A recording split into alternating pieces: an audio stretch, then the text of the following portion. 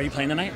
Uh, yeah, I am. Oh, you are. Yeah. You, have you been practicing before you? Uh, no, because I didn't know I was playing. I thought I was gonna, thought I'd be like completely full when I got here, and there was actually a, a spot left, and they gave it to me, and I'm terrible at ping pong. So, but you're here. It's huge see that you're here. What was that? It's huge that you're here at this event. Yeah, I'm really, really glad to be here. It means a lot to be invited and to get to play. How was your first day of shooting today? Uh, yeah. How did it you feel? Uh, it was gr- a lot of emotions. Weird coming back um, for the first time for the last time. It's my last first day ever. Um, but uh, yeah, really amazing to be back with the people I love, and uh, it's pretty crazy to think about it wrapping for good.